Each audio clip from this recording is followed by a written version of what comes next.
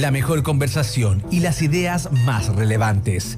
Esto es el panelazo de www.copano.news. En la clave 92.9. En este mm, espacio queremos conversar de qué hablamos cuando hablamos de republicanos. El Partido Republicano se convirtió en la fuerza política más votada de Chile tras las elecciones del 7 de mayo. El partido liderado por José Antonio Caz representa una derecha radical que se opone al proceso constituyente y defiende el legado de la dictadura. Hoy analizaremos qué tipo de derecha encarna el Partido Republicano y cómo se relaciona con las otras derechas en Chile y el mundo. Tenemos el placer de conversar en esta jornada con Claudio Alvarado Rojas, director ejecutivo del Instituto de Estudio de la Sociedad IES Chile. ¿Cómo estás, Claudio? Buenos días. ¿Qué tal? Muy buenos días a ambos. Muchas gracias por la invitación. Claudio. Feliz de tenerte. Muy, mucha, muy agradecido de tenerte acá para conversar un poco de qué hablamos cuando hablamos de republicanos, porque se ha se ha establecido el concepto ultraderecha, pero también existe el concepto eh, extrema derecha, derecha radical. Derechas alternativas. Derecha seca, claro, la alt-right que se conoce en Estados Unidos. Entonces quería preguntarte, en tu visión, ¿qué tipo de derecha es el Partido Republicano? A ver, da la impresión de que muchos de estos calificativos y estas etiquetas que, usualmente existen, ¿cierto?, para calificar a, la irrupción de grupos como el Partido Republicano, tienen el problema o, arriesgan la dificultad de encasillar a priori al grupo político en cuestión eh, y, con el riesgo de que eso impida preguntarse por qué a estos grupos políticos les, les va bien, digamos, por qué la ciudadanía los beneficia con, su preferencia, con, su voto, eh, es algo análogo a lo que suele pasar con el concepto de populismo. Mi impresión es que para intentar entender lo que está detrás, hay que renunciar a priori a la, etiqueta o al adjetivo peyorativo y preguntarse justamente cuáles son sus notas distintivas, qué es lo que los, cuál es su sello propio y, por qué la ciudadanía termina beneficiándolos con, su preferencia. Y en este caso en particular, en el caso en particular del Partido Republicano, a mí me parece que, por supuesto que hay una, confluencia de motivos. Por un lado, ellos, eh, yendo a lo más coyuntural, han sabido teclar con bastante eh, talento eh, e insistencia la, la tecla, valga la redundancia, de la seguridad, la preocupación coyuntural por el orden público, la lucha contra la delincuencia y el narco. Yo creo que ahí hay un sello coyuntural propio de ellos en este momento. Han sido los más duros dentro del, espectro político con ese tema. Y luego, me parece que, desde el punto de vista más doctrinal o, ideológico, eh, ellos representan al menos quienes conducen al partido hoy día, José Antonio Cas, Arturo Esquella eh, y otros eh, ex parlamentarios o ex miembros de la UDI, ellos representan lo que Ricardo Brodsky, el exdirector del Museo de la Memoria, eh, dijo respecto de José Antonio Cas en la segunda vuelta presidencial. Dijo, José Antonio Cas es, a, fin de cuentas, un conservador político pragmático. Y me parece que eso es lo que predomina en quienes conducen este partido, eh, sin prejuicio de que obviamente que adentro tienen tensiones internas como los manifiestan los dichos de la semana pasada del diputado Kaiser. Pero eso diría yo a grandes rasgos. O sea, en resumen, primero renunciar a la etiqueta a priori, segundo preguntarse por qué la ciudadanía los beneficia y tercero, si es que sin prejuicio de eso queremos buscar a dónde eh, ubicarlos dentro del espectro político, creo que la definición que dio Brodsky respecto de Kass es lo que más lo, lo identifica, lo que más explica su, su apuesta política en este momento. Claudio, es importante hacer este análisis sin caer en caricatura o menosprecio también a las personas que votan, incluso a los militantes del Partido Republicano. Y en ese sentido, em, quiero ir a conceptualizaciones que tiene la ciencia política, no sé cómo lo ves tú, pero hay una diferencia sustancial entre lo que es ser derecha secas, extrema derecha, ultraderecha y derecha radical. A veces la gente ocupa como sinónimo la extrema radical y ultra y son bien distintos. Bajo algunos puntos de vista, eh, se ha dicho que podría ser el Partido Republicano de derecha radical, insisto, sin ocupar peyorativo, sino yéndonos netamente a la ciencia política, porque eh, se mantiene respetuoso de la democracia liberal representativa, sin embargo, eh, socava algunos principios liberales que podrían ser cuestionados. Eh, distinto a la ultraderecha que ya se expone fuera del espectro político, aunque, y, también es el debate, que, muchos medios internacionales nominaron así el triunfo de República. Entonces, en ese sentido, sin caer en caricaturas, ¿crees que es un error cuando algunos medios ocupan estas estas etiquetas que, por supuesto, son eh, son eh, títulos, son adjetivos en disputa todo el tiempo. Son, son coyunturales. Son en el tiempo. Pero ¿tú crees que hay un error? Porque yo, yo te lo digo desde la, desde la ciencia política dura, desde la conceptualización semántica del asunto.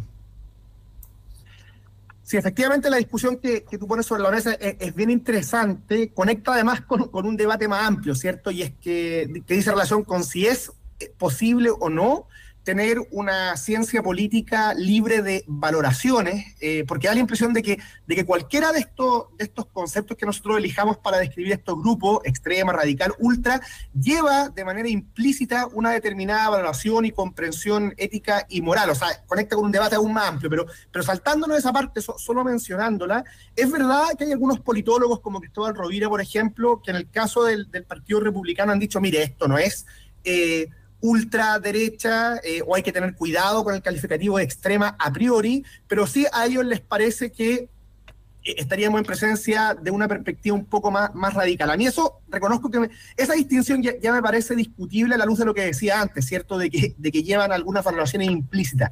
Dicho eso, dicho eso y entrando al fondo del asunto, a mí me parece que si uno revisa lo que ha sido la trayectoria del Partido Republicano, que es muy breve, ¿cierto? Es un partido muy nuevo, eh, dentro del espectro político chileno, ellos eh, han tenido en ciertos momentos eh, algunas posturas que, por supuesto que, que, resultan cuestionables. Pienso, por ejemplo, en el estado de excepción que se proponía de cara a la primera vuelta presidencial, o en la eliminación de determinados ministerios, o en la visión de la historia política reciente. Yo creo que en todos esos temas ellos tienen efectivamente ciertas tensiones respecto de lo que habitualmente consideramos aceptable o, deseable dentro de la, de la discusión pública chilena, pero en cambio, en cambio, cuando se les tilda a priori de radicales o ultra por abrazar determinadas posiciones, digámoslo así, conservadoras o tradicionales en materias éticas o morales, ahí me parece que efectivamente se está, como se dice en buen chileno, pasando gato por liebre, porque lo cierto es que todos quienes intervienen en esos debates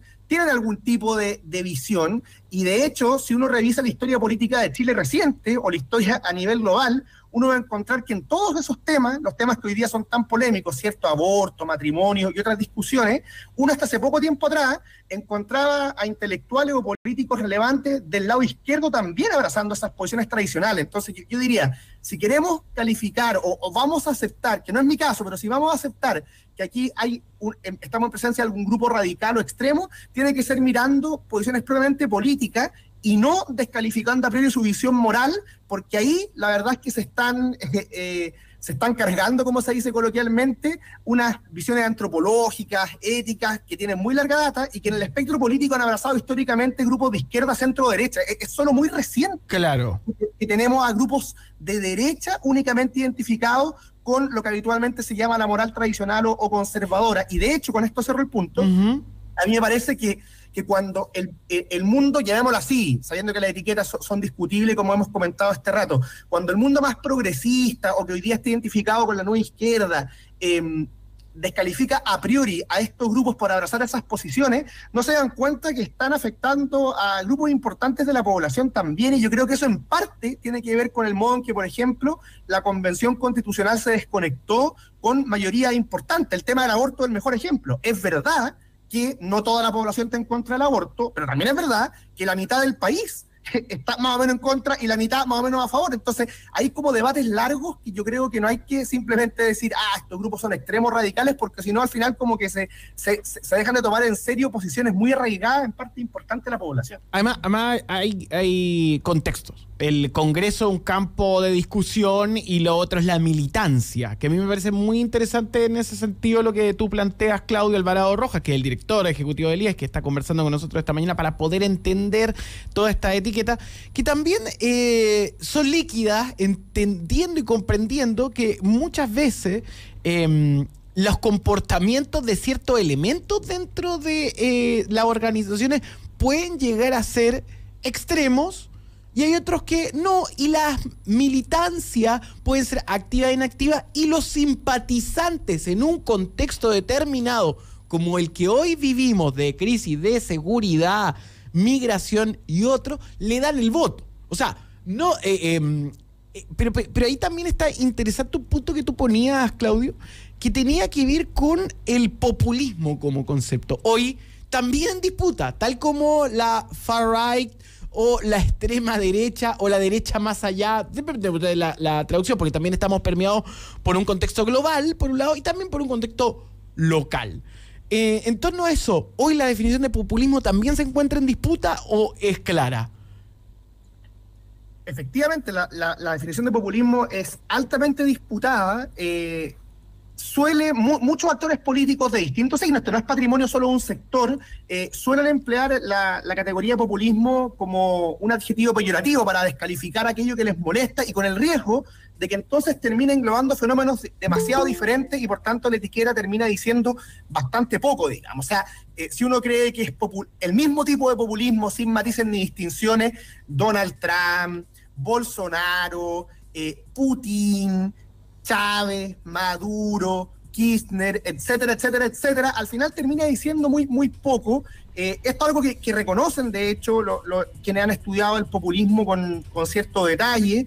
Eh, aquí hay que entrar a picar, como, se dice coloquialmente.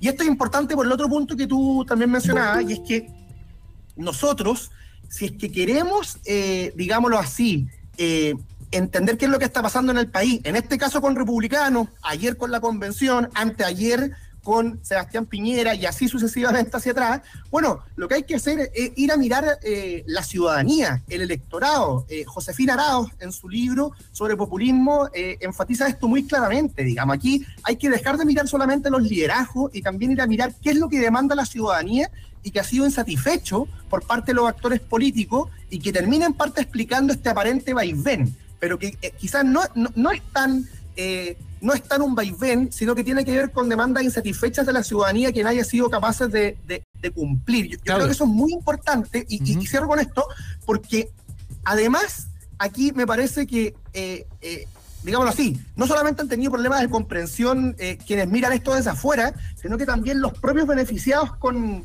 con el triunfo electoral. Uno de los grandes problemas que ha tenido Chile han sido las llamadas borracheras electorales. Claro, esto... últimamente han creído que aquí son algo así como dueños de sus votos o que una mayoría electoral es sinónimo de una adhesión completa al proyecto político de su grupo y la verdad es que nada indica que eso sea así, sin prejuicio que obviamente los resultados marcan señales y tendencias, en este caso el triunfo del Partido Republicano tiene que ver con un cierto contexto, pero aquí ni el Partido Republicano ni ninguno de los ganadores últimos del espectro político chileno es dueño de la, total, de, la totalidad del electorado. Creer eso creo que ha atentado contra el éxito de los propios grupos políticos. Claudio Alvarado Elías, muchas gracias por esta conversación y este conocimiento. Cerramos por hoy, copan la clave y sigan la conversación. Chao, que estén bien. Chao, que estén bien. Con clave Morse, nos escuchamos en Spotify. Cuídense mucho.